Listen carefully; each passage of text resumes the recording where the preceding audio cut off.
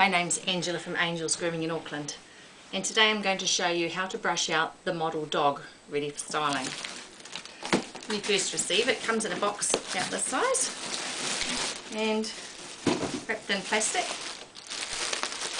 There is there. And basically they come all corded and they need to be prepared before you can groom them. So they need to be brushed out thoroughly without taking out all of the coat. They are based on a poodle base. They already have little shaved feet on the bottom. But they don't have a shaved face, just in case you want to make it into a Westie or a Bichon or Scotty, other dogs like that, or a poodle that doesn't have a shaved face. The top knot is just held with a band, so you can just take that off.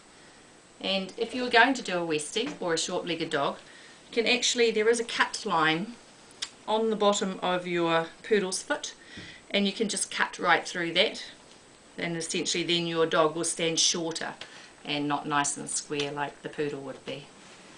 The tail has a little bit in there which is not got any cording in it. Most of the body, the actual pieces are pushed into the frame of the body, but on the tail they're actually sewn through. So if you wanted to just have that shaved effect on the tail, you could basically just pull that off and it would come off like a like a little base. And the pieces that you do take off, you see here there's some that are a little bit long.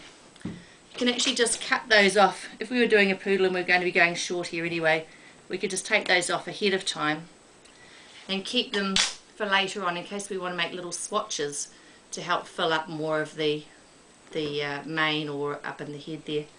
There's a little one that I did earlier where I've just tied it at the bottom here and then it literally is this banded and brushed out. So for brushing you don't really need very many tools. A good pin brush, this is a nice pin brush because the ends are nice and round. They don't have that little shape on the top that can catch in the coat. They, It's very smooth so they're a very nice one to use. And your trusty comb and a couple of bands if you just want to help keep the bits out of the way that you're working on. But basically the most important thing about doing the dog is to start at one end and work your way through and be thorough but don't keep brushing until there's nothing left. If you want a dog that's going to have a thick coat then you need to make sure that you're not over brushing it and taking everything out. So basically you just gently go through each cord one at a time and you'll see some hair does come away so by the time we get through this whole dog, I should think there'll be a substantial amount of hair on the table here. So you have to forgive me for working on a table at home at night time, but through the day we're of course just too busy in the parlour, so may see the odd cat come and stray across the table. We'll try and keep that out of your shot. As you can see, it's coming out quite a bit, but it's leaving a lot behind as well. So you literally go through each one of these cords one or two at a time and just gently tease them out. And you can check with the wide part of your comb to make sure that you have got right down to the base. But really gently tease it out and take a little bit of time doing it so that you get a really nice finish. It's just the same with normal grooming. The more you put into the preparation the better your finished article will be. So the types of dogs that you can make with these model dogs are things like poodles pretty much any style of poodle um, you can do Westies, Scotties, uh, Lakeland Terriers, Kerry Blues. You could try for a Bedlington. Their stance isn't particularly good for that, but they they do scissor up nicely. So if you wanted the coat a bit thinner, you could just brush it out a lot more and get it a bit thinner. And there's really quite a few different breeds you can do. And to make them look more like the breed that, that does actually dye up very well. We can use some spray and colour just to give them a little bit of colour. And if you google um, model dogs you'll find quite a few photos of ones that have been done before. Uh, some people say that they can dull your scissors a little bit so if you're going to be doing this you might want to consider either using a, a, a separate pair of scissors to your good daily ones or perhaps doing it just before you send them away it be sharpened. But as you can see it brushes out very easy, it's not a difficult job. It's just a little bit time consuming to make sure that you're not, cats running around now, can you hear them? uh, just to make sure that you're not taking out all of the hair and you're leaving a good thickness in there. So I'm not going to show you two hours or more of completely brushing but I will stop and start this when I get to various areas so that you can see what stage I'm at. But if you get to bits and you know ahead of time what style you're going to do you really would pay to save some of these cords just for as I say making these little fills or just even just for practicing scissoring or whatever I will show you just before I move on and carry on with the brushing is in the ears. Obviously the poodles have their nice drop ears down here with their ear leather. Now ear leather is actually, I'll bring it up so you can see, is actually sort of macrame made through here. So if you were going to do a westie or somewhere that you didn't need these ears to be quite so long, these little plush rows here can actually take those rows out and again save those for later and you can then scissor in the shape of the ear or you can weave these up yourself into a shape of an ear before you start. So it depends on how good you are with weaving and things like that to whether you scissor the shape in which is quite easy to do um, and pull these bits out. Or if you're doing something with a cocker spaniel or a um, poodle with these drop ears then just leave them in and just leave all the weaving in the bottom and you brush all of the cords out on the top. So I'm going to carry on with this and I shall show you in a few minutes what it's looking so, like. One of the first things you notice when you start to get down underneath the dog to get the hair brushed out between the legs is that a matter of excess.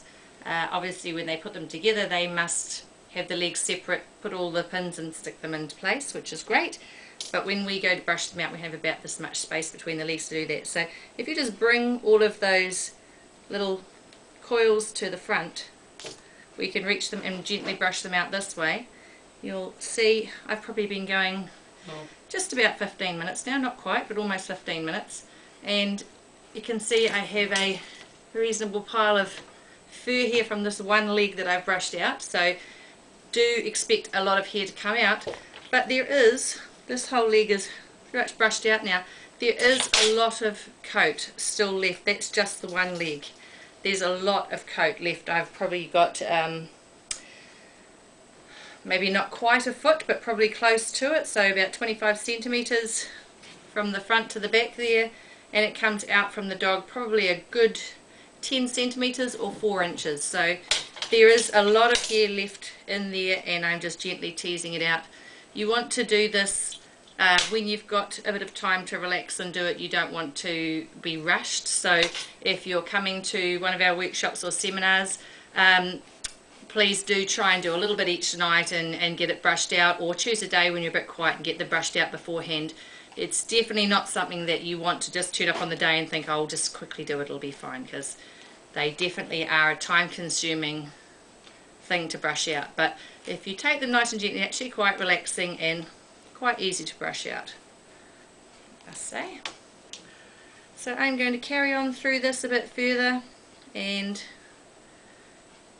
I should think that it will look very lovely when it's finished.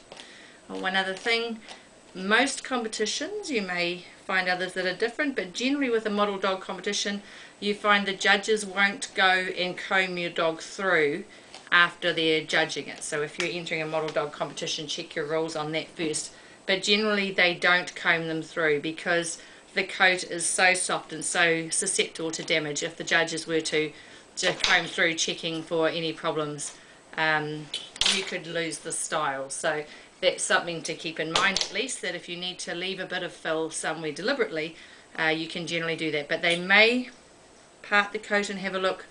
Generally they don't. It's generally a hands-off process and they judge solely on what they see so I shall carry on with this and I shall see you again shortly.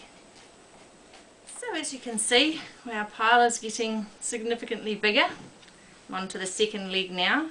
I just wanted to show you I've brushed this side and not this side. So I just want to show you what the plastic form looks like underneath. So here you have the plastic leg going through here and the little pieces are pushed in groups of usually two as it seems into each of the holes. So when you brush them out, they make this very plush part. So this bit hasn't been brushed out, that's why you can still see the plastic.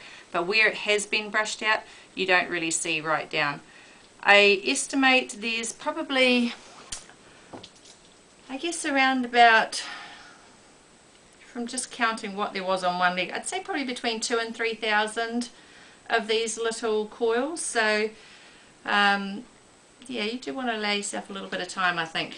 I'm going to uh, also recommend probably wearing a mask if you are sensitive to dust because there is a little bit of dust coming up here while I'm brushing. You can see there's one leg all brushed out and fluffy. This one's half of the way through and I've been going probably about 25 minutes I suppose. So they estimate on the instructions two hours to brush out a dog. I've heard people say it's more like two to four hours is, is more realistic and I think that probably is about right. I'd say it probably will take me about three hours to get right through this so I may not get it all finished tonight. I may come back and show you what it looks like. finished both the back legs now, just coming up to the rump area. I've done quite a bit of the underneath as well. One of the things that I do notice is that the the fibres are all reasonably short fibres. They're not necessarily the full length. So when we see here a group of maybe about eight different length ones, if I take half of those and I cut them to about this length here, whether I am brushing very gently or not, which I am, the coat will still pull away quite a bit. And if you want the coat to be long for perhaps a Cocker Spaniel you may want to leave this piece up to the skin here not brushed for the underneath parts of the hair to get some length and just brush the top parts. But if you are going to be brushing all of the all of the cords all the way up to the skin you'll find that the ones that are long will end up pretty much, let's do the short ones to show you, but pretty much a similar length to the ones that the long and the short be pretty much the same. So if you're going to be doing a style that you've already determined, it would probably pay you to, so there's our, there's our short pre-cut ones, and these are our long not pre-cuts. And there's not really a great deal of difference in in the two. So it would be there's another one there. So it'd be probably wise to if you knew what style you were doing to perhaps take off some of that length before you go through and brush because when you brush that it's going to just pull away anyway and you're going to be left with the same length underneath so if you're doing a long coat don't necessarily brush right down to the skin brush the bulk up here and if you're doing something more of a medium coat, then perhaps consider just taking some of that off first. Okay, so we're about an hour and a half into it now. And I just wanted to show you the difference between brushing right up to the top and leaving the length on. So this piece here, the, this whole side has been brushed right up to the whole length of the body. So if I if I lift that coat up you'll see it's been brushed right up to the body so that if I'm doing something quite short around here I'm not going to get into any of this left behind so you can see it very much does follow the shape whereas this side here can see on the top I've left the length and I've only brushed the ends. So if you're wanting a style that's going right down to the ground then I've started underneath here. I've left the length of those and I'm just brushing out the ends like this.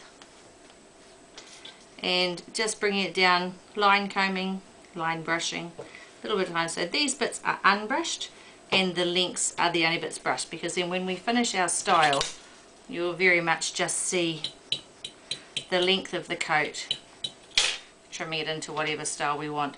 And then this top coat here is very much thicker. You're seeing in a lot of these other pieces where there's two plugs in every hole. Um, once you get up to the center back here there's a lot more coat put in. So once we've got this length if you were going to do a longer style you could brush this right right up to the top so it would actually layer down um, but you would maintain the length on the bottom by not brushing right up to here well, here we are, all brushed out. I've just tied the top knot back in again just to keep it out of his face and little bands, you can see where his head is there. Um, there's a lot of coat still left on this dog, definitely more than enough to make most styles. One thing I should point out is the tail. I said earlier how the tail is stitched in. When you're brushing out the tail you do need to be careful not to pull the thread through the stitching. So um, it is it is a little bit you do have to go quite a bit gentler on the tail otherwise it does tend to pull through. If you wanted a longer tail you could probably add a couple of little fills in there with those pieces those swatches we made earlier. But uh, apart from that the rest of it was actually very easy to do. It did produce a lot of hair however I can show you some of it here so if you're getting these amounts of hair off of your dog. This is all off of this one dog that I started yesterday and I wouldn't be too worried about that as I said it definitely does produce quite a lot of hair. There we go. That's it. All of that off this one dog, just still fluffy. So have fun brushing out your dog and good luck with what you're going to create with it forget to post your pictures so that we can see what they look like, but it's a very relaxing thing to do. Thanks for watching.